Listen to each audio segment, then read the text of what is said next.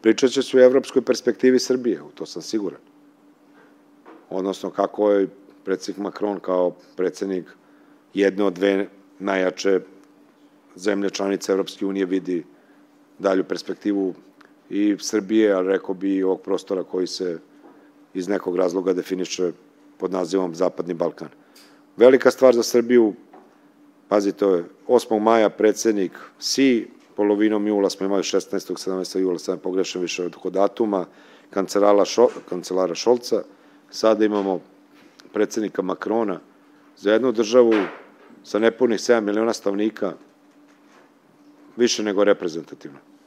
I zaista na ponos svih građana i pokazuje jednu ozbiljnost i one politike koju pre svega personifikuje Aleksandar Vučić i njegovog ugleda u međunarodnim odnosima. Mislim da će danas biti dosta dobrih vesti za Srbiju, odnosno za građane Srbije kada potpišemo ove sporazume sa Francuskom.